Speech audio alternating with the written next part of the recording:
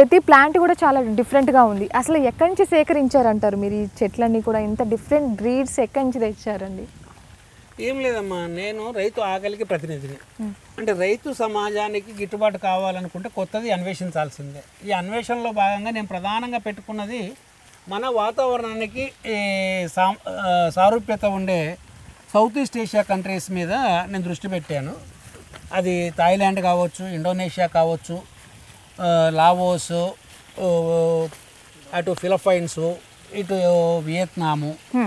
ఈ కొబ్బరి మొక్కలు వియత్నాం నుంచి కొన్ని సేకరించాము. కొన్ని బంగ్లాదేశ్ నుంచి సేకరించాము. కొన్ని ఫిలిప్పైన్స్ నుంచి సేకరించాము. అలాగే మ్యాంగోలోకి వచ్చేటప్పటికి మ్యాంగో టిబెట్ నుంచి కొన్ని థాయిలాండ్ నుంచి కొన్ని ఫిలిప్పైన్స్ నుంచి కొన్ని. ఇట్లా ఈ ఆల్టిమే ఆల్ సీజన్లో ఉండే వెరైటీస్లో రకరకాలు రకరకాల ప్రాంతాల్లో. ఆ ప్రాంతంలో ఆ మొక్క ఉందనుకున్నప్పుడు దాన్ని తీసుకొస్తున్నాము. దాన్ని కల్టివేట్ చేస్తున్నాము. అది లాభదాయకంగా ఉంటుంది రైతుకు అని భావించినప్పుడు మీలాగా ఒక పది మంది చూసినప్పుడు ఆ పది మందిలో ఎనిమిది మంది అభిప్రాయాలు పాజిటివ్గా ఉన్నప్పుడే దాన్ని ప్రాపగేషన్ స్టార్ట్ చేస్తున్నాము. ఇప్పుడు ఇప్పుడు అవకాడో ఉందనుకోండి అవకాడో అనగానే హో హో హో అని చెప్పేసేసి అవును అవకాడో వస్తాయి. అవకాడో అనేది చాలా కష్టం అసలు వీటిని పా- ఈ ప్లాంట్ని మనం కాపాడడం కావచ్చు పండించడం కావచ్చు అసలు ఇట్స్ నాట్ పాసిబుల్ ఇండియాలోనే లేదమ్మా అది ఒకటి ఏదైనా ఏదైనా ఒకటి మనం తలుసుకుంటే. అది సాధ్యం అవుతుంది అంటే మన సైంటిస్టులు ఎట్లా ఆలోచిస్తారంటే అదే నేను ఇంతకుముందు చెప్పాను కదా లాభ నష్టాలను లెక్కేసుకొని.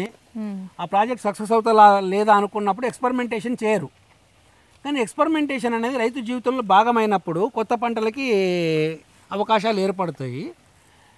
ఇప్పుడు ఉదాహరణకి ఏంటంటే అవకాడోకు థర్టీ ఫైవ్ డిగ్రీస్ టెంపరేచర్ తగ్గొద్దు.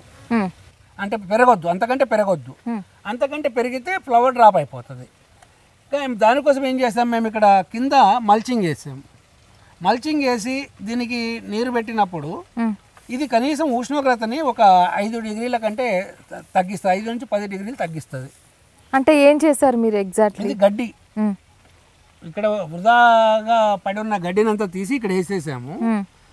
నీరు పెట్టినప్పుడు ఏంటంటే ఈ నీరును ఆవిరి కానివ్వదు డైరెక్ట్ సూర్యరశ్మిని పడనివ్వదు కాబట్టి మొక్క ప్రాంతంలో టెంపరేచర్ను తగ్గిస్తుంది.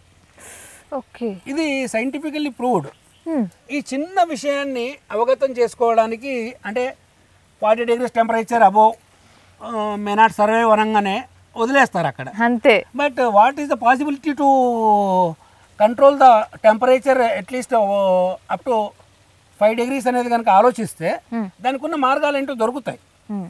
రైతు అక్కడ అన్వేషించడంలోనే రైతు ఎట్లా సా సాహసం చేయడు. కనీసం సైంటి సైంటిస్టులైనా ఆ పని చెయ్యాలి. అది మన దౌర్భాగ్యం. మ్మ్. ఇది ఇదేం చెట్టు అండి? ఈ ఫ్లవర్ చాలా బాగుంది. ఇది మెడిసినల్ ఈ ఫ్లవర్ చూపించండి ఒకసారి నిజంగానే. మెడిసినల్ ఇది మెడిసినల్ ప్లాంట్ అమ్మా. ఇది టార్చ్ జింజర్ ఫ్లవర్ అది. టార్చ్ జింజర్ ఈ ఫ్లవర్ కూడా ఆర్నమెంటల్గా చాలా అందంగా కనబడుతుంది. దీనికి చాలా లక్షణాలు ఉన్నాయి. ఇది యాంటీ ఇన్ఫ్లమేటరీగా పనిచేస్తుంది.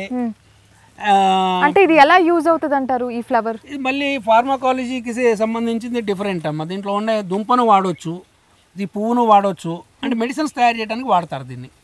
ఓకే.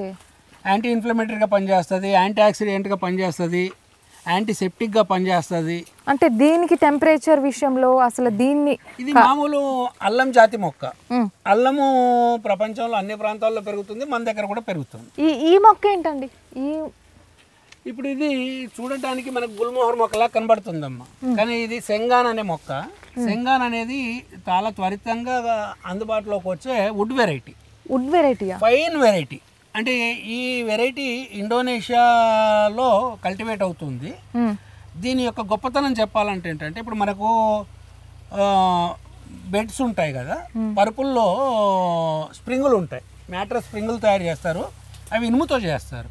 ఇండోనేషియాలో ఈ కలపతో స్ప్రింగులు తయారు చేస్తున్నారు. అంటే కర్రలో అంత ఫ్లెక్సిబిలిటీ ఉంటుంది అంత గట్టితనం ఉంటుంది. ఓకే.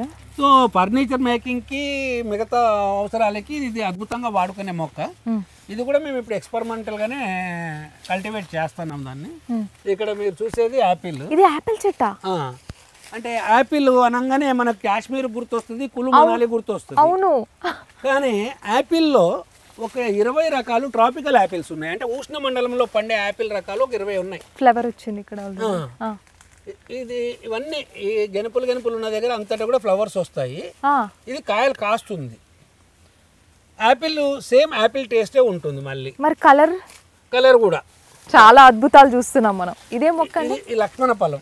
లక్ష్మణ ఫలం. ఒక్కసారి చూడండి దీన్ని గ్రావియోలా అంటారు. లక్ష్మణ ఫలం అంటాము. అంటే మనం తెలుగు వాళ్ళు పెట్టుకున్న పేరు లక్ష్మణ ఫలం. అసలు నేను ఈ ఫ్రూట్ ఎక్కడ చూడలేదు కూడా. ఇక్కడ చూస్తున్నా. ఇది దీంట్లో దీని యొక్క గొప్పతనం ఏంటంటే ఈ మొక్కలో ఆ, అణువణువు ఔషధమే. దీని ఆకుతోటి క్యా పద్దెనిమిది రకాల క్యాన్సర్లు తగ్గుతాయి. ఈ సంవత్సరము ఒక పన్నెండు మంది రైతులు రోగులు ఈ ఆకులతోటి డికాషన్ తాగడం ద్వారా క్యాన్సర్ తగ్గింది. అంటే అట్లా చెప్తే ఈ వైద్య పరిశ్రమ ఏదైతే ఉందో వాళ్ళు ఒప్పుకోరు కానీ అన్ఫార్చునేట్గా లేదా ఫార్చునేట్గా అనుకోవచ్చు. ఈ ఈ ఆకుల డికాషన్ తాగిన వాళ్ళల్లో ఇద్దరు మెడికల్ కాలేజ్ ప్రొఫెసర్స్ బంధువులు కూడా ఉన్నారు. ఓకే. అంటే ఇప్పుడు సేంద్రియ వ్యవసాయం అనగానే మెయింటెనెన్స్ చాలా కావాలని అర్థమవుతుంది చూస్తుంటే. చాలా వరకు మీ దగ్గర ఎంతమంది అసలు పనిచేస్తున్నారు ఇదంతా మెయింటైన్ ఎలా చేస్తున్నారు అంటారు మీరు? ఎప్పుడైనా వ్యవసాయం అనేది శ్రమతో కూడుకున్నదే కాబట్టి మనుషులు ఎక్కువనే అవసరం పడతారు. ఎందుకంటే బయట ప్రపంచ దేశాల్లో ఇతర దేశాల్లో వచ్చినట్టుగా మన దగ్గర ఇంకా మెకనైజేషన్ రాలేదు. సో మన దగ్గర మనుషులు అధికంగానే వాడాల్సి వస్తుంది. మా దగ్గర నాతో పాటు ఇంకొక పదిహేను మంది బతుకుతున్నారు. అంటే నేను బతకడంతో పాటు ఇంకో పదిహేను మందికి ఉపాధి కల్పించగలుగుతున్నాను. అది సీజన్లో అంటే ప్లాంట్ గ్రాఫ్టింగ్ సీజన్లో అయితే ఇంకో పదిహేను మందిని దానికి జోడించవచ్చు. ఒక ముప్పై మందికి ఉపాధి కల్పించగలుగుతున్నాం. అసలు మీకు ఈ ఆలోచన వచ్చినప్పుడు ఇంటిగ్రేటెడ్ ఫార్మింగ్ కావచ్చు దీని మీద ఎప్పుడైతే మీరు చేయాలని డిసైడ్ అయినప్పుడు మీ వైఫ్ ఏ విధంగా మీకు సపోర్ట్ చేశారంటే ఏమన్నారు ఈ ఆలోచనకి? అసలు తన స్పందన ఏ విధంగా ఉండింది? మొదట కేవలం తను సపోర్ట్ చేస్తానని మాట సపోర్ట్ చేసింది. సరే నువ్వు చెయ్యి నేను చూస్తా అన్నది. తర్వాత తనకు తెలియకుండా తానే ఇన్వాల్వ్ అయిపోయింది. ఈరోజు ఈ వాల్యూ యాడెడ్ ప్రోడక్ట్స్ సంబంధించిన రీసెర్చ్లో కానీ ఎగ్జిక్యూషన్లో కానీ ప్రధాన పాత్ర అంతా ఆమెదే.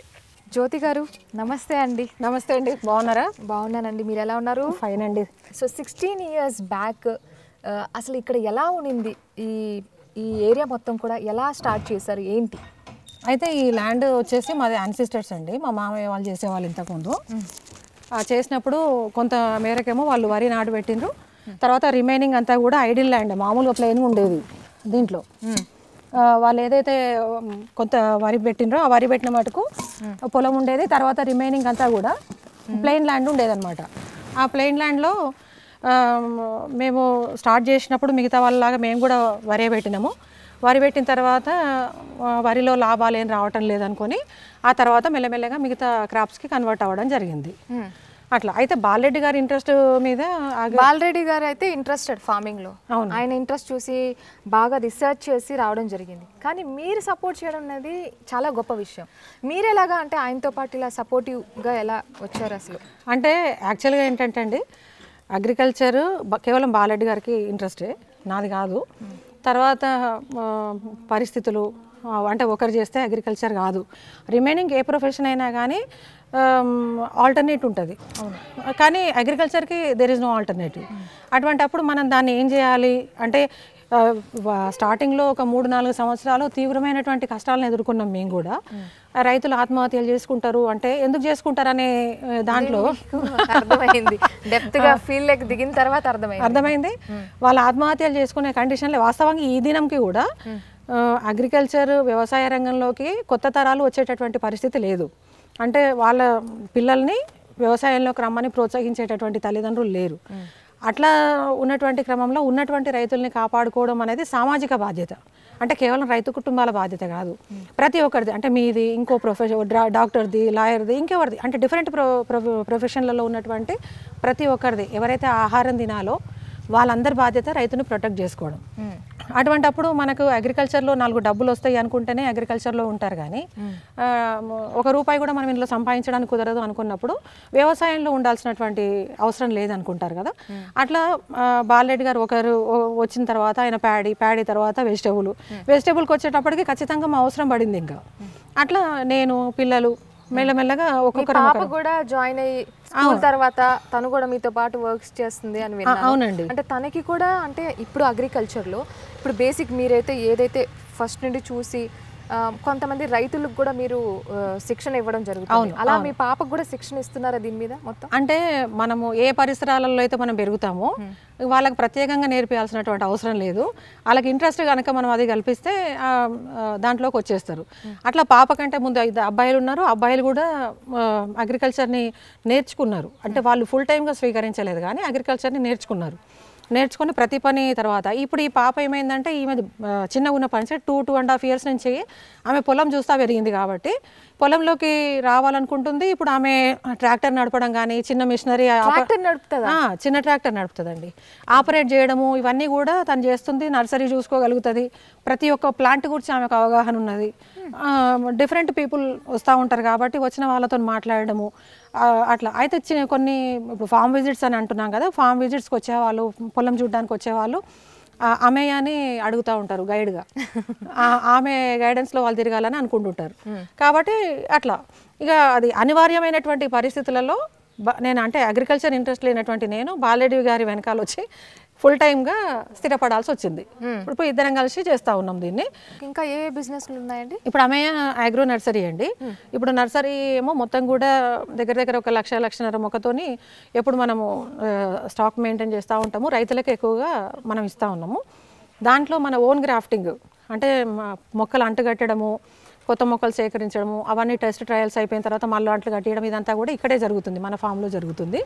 బయట నుంచి గ్రాఫ్టర్స్ వచ్చి చేయడం అదంతా చేస్తున్నారు. ఇది ఒక యాంగిల్. తర్వాత ఏదైతే రైతు పండించినటువంటి పంట ఉంటుందో పండించినటువంటి పంటను వాల్యూ యాడ్ చేసి మనము కన్జ్యూమర్కి ఇస్తే మీడియేటర్స్ని ఇది కొంచెం తగ్గించినట్టు అవుతుంది. అంటే టమాటా ఈరోజు మార్కెట్లో ఇరవై రూపాయలు ఉంటే టమాటా పౌడర్ వచ్చేసి పద్దెనిమిది వందల రూపాయలు ఉంది. టమాటా పౌడర్ టమాటా పౌడర్ వచ్చేసి పద్దెనిమిది వందల రూపాయలు ఉంది. అంటే ఈ రెండింటికి మధ్యలో కూడా వ్యత్యాసం మనం చెప్పడానికి లేదు. అంటే ఎక్కడ డిఫరెన్స్ వస్తుంది అని అనుకుంటే వ్యవసాయం చేసేటటువంటి రైతేమో నష్టాలలో పోతున్నాడు. వ్యాపారం చేసేటటువంటి వాళ్ళేమో లాభాలలోకి పోతున్నారు. ఆ రైతే కనుక వ్యాపారం వ్యవసాయం చేసేట ఆయనే వ్యాపారంలోకి వస్తే ఎట్లా ఉంటుంది అనే దాని మీద మేము చేస్తూ ఉన్నాం అన్నమాట. సో మీరు బిజినెస్ మొత్తం హ్యాండిల్ చేస్తున్నారు అయితే. బిజినెస్ హ్యాండిల్ చేస్తున్నా. బిజినెస్ హ్యాండిల్ చేస్తున్నా ఫ్రాంక్గా చెప్పాలంటే. అయితే ఇప్పుడు మన దగ్గర పచ్చళ్ళు పొళ్ళు ఇప్పుడు ఒక ఎగ్జాంపుల్ చెప్పాలంటే ఇప్పుడు ఒక టమాటా మన దగ్గర వెళ్తుంది. టమాటాతో మనం టమాటా పచ్చళ్ళు అంటే రెండు రకాలు పెట్టాలా మూడు రకాలు పెట్టాలా దాంట్లో కూడా మళ్ళీ డిఫరెన్స్లు తర్వాత ఒరుగు టమాటా ఒరుగు టమాటా పౌడరు. టమాటా ఇన్స్టంట్ సాంబార్ మనకు రసం ఉంటుంది కదా రసం దాని మీద కూడా ఇప్పుడు టెస్ట్ ట్రయల్స్ నడుస్తున్నాయి. ఒకవేళ ఓకే అయితే కనుక ఇప్పుడు ఎవరైనా కానీ వర్కింగ్ ఉమెన్ తాలింపు పెట్టుకొని పౌడర్ వేసి వాటర్ పోసేసుకుంటే మనకు రసం తయారైపోతుంది. ఇప్పుడు వ్యవసాయం చేయడంతో పాటు ఒక క్రియేటివ్ థాట్ ఉండడం అనేది ఎంతో అవసరమని మీతో మాట్లాడిన తర్వాత నాకు అర్థమవుతుంది. అదే. అంటే మనం చేసే వ్యవసాయంలో క్రియేటివిటీ లేకపోతే ఇంకా అది నార్మలే అది నష్టాలుగా చూస్తామో లేదా నార్మల్గా సాగు వెళ్తుందో అనేది పక్కన పెడితే బెనిఫిట్స్ అయితే అంత చూడలేం. అవును. కానీ మీరు ప్రతి ఒక్క దాన్ని చాలా క్రియేటివ్గా ఆలోచిస్తున్నారు. టెస్ట్ ట్రయల్స్ చేస్తున్నారు. అవును. చాలా అద్భుతం అండి. సో అమ్మయ్య కూడా వాళ్ళ మమ్మీ డాడీకి హెల్ప్ చేస్తూ ఉంటారన్నమాట ఫార్మింగ్లో. అంతేనా? ఎవ్రీడే స్కూల్ నుంచి రాగానే నువ్వు ఇలా ఫార్మింగ్లోకి వచ్చేస్తూ ఉంటావు. మోస్ట్ ఆఫ్ ద టైం నాకు టైం దొరికితే నేను ఫార్మ్ చేస్తాను ఫార్మింగ్లో పనిచేస్తాను అంతే. సో ఏమేమి నేర్చుకున్నావు డాడీ మమ్మీ దగ్గర? అసలు ఏమేమి చేస్తూ ఉంటావు? నేను ప్రతి పని చేస్తాను అక్క లైక్ నాటు వేయడం అన్నీ. నాటు కూడా వేస్తావా? సో డాడీ మమ్మీ ఇప్పటి వరకు నీకు ఏమేమి నేర్పించారో కొంచెం అట్లా చెప్పావనుకో మేము కూడా వింటూ ఉంటాం. అంటే లైక్ చెప్ప అంటే చెప్పలేనని పనులు నేర్చుకున్నా. లైక్ ఐ కాంట్ ఎక్స్ప్రెస్ ఏ ఏజ్ నుంచి డాడీ మమ్మీతో పొలంలో ఇలా దిగడం జరిగింది? ఏ ఏజ్లో దిగావు? నేను అంటే నేను ఇక్కడనే పెరిగినాను. టూ ఇయర్స్ను నేను టూ ఇయర్స్ ఉన్నప్పటి నుంచి ఇక్కడనే పెరిగినాను. సో అప్పటి నుంచి పని నేర్చుకుంటూ నేర్చుకుంటూ ఈ- ఈ ఏజ్ దాకా వచ్చినాను. అండ్ నాతో పాటే ఈ ఫామ్ కూడా పుట్టిందనమాట అందుకేనా? ఇప్పుడు నీతో పాటు ఆ ఫామ్ నేమ్ కూడా అమే అని పెట్టినారు. సో రాగానే నిన్ను నిన్నే గుర్తు చేసుకుంటారు అందరూ. సో అందుకే మొత్తం అమేయ వచ్చి అందరికి గైడ్ చేయాలి. డాడీ మమ్మీ చెప్పింది అయితే ఇదే. తను వచ్చి అంటే వాళ్ళు లేని పరిస్థితిలో నువ్వు వచ్చి అందరినీ హ్యాండిల్ చేసేస్తావంట. అంతేనా? సో ఇంకా స్టడీస్ ఎలాగున్నాయి? అంటే ఇప్పుడు మనం ఈ పనులు చేస్తున్నామంటే స్టడీస్ విషయానికి వస్తే ఇక అక్కడ ఫోకస్ ఉందో లేదో మనకు తెలియదు కదా. లేదు ఫోకస్ ఉంది కానీ మరి అంత కాదు. నేను యావరేజ్ స్టూడెంట్ చిన్నప్పటి నుండే ఫీల్డ్లో ఉన్నా అంటున్నావు కదా మరి అసలు ఈ ఏ జాత ఆవులు వీటి గురించి అసలు వీటి పేర్లు కూడా ఉన్నాయంట ఏంటి ఆ పేర్లు? ఇవన్నీ ఆడావులు అండ్ ఇవి నాటు నాటు వెరైటీ దీంట్లో మనకు శైవాల్ ఇంకా రాటి ఉన్నాయి. సో దీని పేరు వచ్చేసి గో- గంగోత్రి. గంగోత్రియా? అది గంగా. అది గౌతమి. అది గాయత్రి. ఇటు వచ్చేసి ఇది పొట్టిది గోదావరి. ఇది గోదావరి. అండ్ అది మధ్యలోది గయ్యాలి. ఎవరు పెట్టారు ఈ పేర్లన్నీ? నేను. అండ్ అవతలది గో గౌరీ. సో ఇప్పుడు ఈ పేర్లు పెట్టి పిలిస్తేనే పలుకుతాయా ఏంటి? అట్లేం కాదు. మనం మనకు అంటే మనుషులకు పేర్లు ఉన్నప్పుడు ఆవులకి ఎందుకు పేర్లు ఉండదు అవి కూడా బతుకుతున్నాయి కదా. What a thought what a thought. Jyothi గారు ఒకసారి బై ప్రోడక్ట్స్ చూపిస్తారా? ఇవన్నీ అండి ఇప్పుడు మన మన ఫామ్లో ప్రజెంట్ చేసేటటువంటివి ఇవన్నీ. అయితే ఈ మిరపకాయలు ఏవైతే ఉన్నాయండి మజ్జిగ మిరపకాయలు అందరూ తెలిసినాయి కదా మనం మంచిగా చల్ల మిరపకాయలు అంటాం. అవును. ఈ దీంట్లో వాడేటటువంటి మజ్జిగ కూడా మన ఆవులు సైవాల్ ఆవులు. సైవాల్ ఆవుల నుంచి ఇప్పుడు అది కూడా ఒకటి మన బై ప్రోడక్ట్ అంటే పాలు అమ్మట్లేదు మేము. పాలు అమ్మకుండా మొత్తం కూడా పెరుగు చేసి పెరుగు నుంచి వెన్న తీసి నెయ్యి. నెయ్యి అమ్ముతాం అనమాట అయితే దాంట్లోంచి వచ్చిన మజ్జిగతోటి ఫస్ట్ చేసింది మజ్జిగ మిరపకాయలు. ఈ చల్ల మిరపకాయలు. ఈ చల్ల మిరపకాయలు కాకుండా ఎక్కువగా మన దగ్గర బాగా డిమాండ్ ఉన్నది అన్నిటిల్లో మునగ ఆకు పొడి. మునగాకు పొడి. చూడండి. మునగాకు పొడి. ఈ మునగాకు మనం ఒక ఇరవై కేజీల ఆకు నుంచి పౌడర్ చేస్తే ఒక కేజీ పౌడర్ వస్తుంది. అయితే ఎన్ని గ్రామ్స్ అండి ఇది two hundred grams. Two hundred grams two hundred two hundred rupees. ఈ మునగాకు కారం. మునగా కారం పౌడరా? అవునండి. మునగాకు కారం పౌడర్. మునగాకుని మనం ఒక టీ స్పూన్ పౌడర్ని ఒక టీ గ్లాస్ వాటర్లో వేసుకొని బాయిల్ చేసుకొని తాగితే మనకు థర్టీ నుంచి ఫార్టీ డేస్ లోపల two to three percentage haemoglobin పెరుగుతుందండి. ప్రాక్టికల్గా వాడినాం ఇది. ఓకే. అయితే ఫార్మర్ మన దగ్గర డిమాండ్ ఎందుకు ఎక్కువ ఉందంటే మనం పొలానికి ఎటువంటి కెమికల్స్ వేయటం లేదు కాబట్టి ఈ ఆకుకి మన దగ్గర ఎక్కువ డిమాండ్ ఉంది. దీన్ని మళ్ళీ మనం హోల్సేల్గా కావాలన్న వాళ్ళకి ఇస్తున్నాము. ఫామ్కి వచ్చి కొనుక్కపోయే వాళ్ళు ఉన్నారు. మళ్ళీ ఆన్లైన్లో కూడా పంపిస్తున్నాం అనమాట అంటే కొరియర్ చేయమంటే కొరియర్ చేసేస్తున్నాము. అయితే ఇది కొంత మనము మసాలాలన్నీ కలిపి చేస్తాం కాబట్టి మునగా కారం కొంత స్పైసీగా ఉంటుంది. మనం ఇడ్లీలోకి దోశలోకి అన్నంలోకి అన్నిటిలోకి తినడానికి అనుకూలంగా ఉంటుంది ఇదేంటదండి ఇది ఆనియన్ అండి dried onion. Dried onion? Dried onion. తర్వాత ఇది ఎలా ఉపయోగపడుతుంది డ్రైడ్ డ్రైడ్ వెజిటేబుల్స్ ఒక నిమిషం అండి. మన దగ్గర అది డ్రైడ్ చిల్లీ ఇది డ్రైడ్ ఆనియన్ డ్రైడ్ బ్రింజాల్ వంకాయలు. తర్వాత ఇది దొండకాయ. ఇది టమాటా. ఇన్ని డ్రైడ్ వెజిటేబుల్సా ఇంకా అన్ని చేయొచ్చు. కాకరకాయ అయిపోయింది స్టాక్ లేదు. అయితే ఇవన్నీ కూడా ఇప్పుడు ఫారిన్కి తీసుకెళ్తున్నారు. వెజిటేబుల్స్ అక్కడ కాస్ట్ కాబట్టి దీన్ని జస్ట్ హాట్ వాటర్లో వేసి మళ్ళీ మన మామూలు కూరగాయలాగా వండుకోవచ్చు. మామూలు అయిపోతుందా మామూలు అయితే వీటి స్టోరేజ్ ఎన్ని రోజులు ఉండొచ్చు అసలు? ఇది నార్మల్గా అయితే అండి ఓపెన్ దాంట్లో పెడితే three to four months colour చెడిపోకుండా ఉండాలనుకుంటే. ఫ్రిడ్జ్లో పెట్టుకుంటే కనుక మనకు వన్ ఇయర్ అయినా ఏం కాదు. ఇదే ఇది టమాటా పౌడర్ అంటే ఇది టమాటా ఒరుగు. ఇది టమాటా పౌడర్. ఇది టమాటా ఈ పౌడర్ వచ్చేసి టూ హండ్రెడ్ గ్రామ్స్ అంటే ఒక ఇట్లాంటి ఒక నాలుగు నాలుగు ప్యాకెట్లు పెట్టుకుంటే మనకు ఒక కేజీ పౌడర్ ఉంటుంది. మనం రసంలో కానీ స్నాక్స్లో కానీ పాప్కార్న్లో కానీ అన్నిటిలోకి మామూలుగా ఇది పైనుంచి వేసుకొని తినేయచ్చు. ఇంకో ఇది చూడండి ఇది అరటికాయ పచ్చడి. అంటే నార్మల్గా మనకు కూర అరటికాయలు ఉంటాయి కదా? కూర అరటికాయలతోటి ఇప్పుడు కూర అరటికాయ పౌడర్ కూడా చేస్తున్నారు. కూర అరటికాయ పౌడర్ తర్వాత ఇది పచ్చడి. ఈ ఈ పచ్చడి మాకు బాగా డిమాండ్ ఉంది. అంటే ఒక గెల కాగానే గెలను తీసుకుపోయి మార్కెట్లో అమ్మినాం అనుకోండి ఒక కాయకు మనకు పది రూపాయలు పదిహేను రూపాయలు. మనం ఎంత ఎక్కువ ప్రైస్ అని అమ్ముకున్నా కూడా పది రూపాయల కంటే పదిహేను రూపాయల కంటే ఎక్కువనైతే దొరకదు. దాన్ని మనం ఇట్లా పచ్చళ్ళలాగా చేసి అమ్ముకుంటే ఇప్పుడు మేము కేజీ సెవెన్ హండ్రెడ్ రూపీస్కి అమ్ముతున్నాం. ఇది బాగా సేల్ కూడా అవుతుంది బాగా సేల్ అవుతుంది. అయితే ఇది నాన్ వెజ్ పచ్చళ్ళలాగా ఉంటుంది కాబట్టి బాగా డిమాండ్ ఉంది. తర్వాత పచ్చళ్ళలో వాడేటటువంటి ఆయిల్ అంతా కూడా మేము గానుగ నూనెలు వాడుతున్నాము.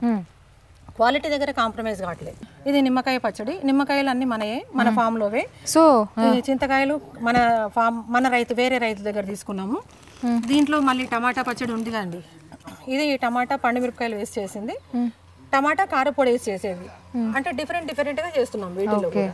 ఇవి రెండు కాకుండా ఇది జ్యూస్ ఉంది కదా ఇవి మునగాకు వడియాలు ఇది టమాటా వడియాలు.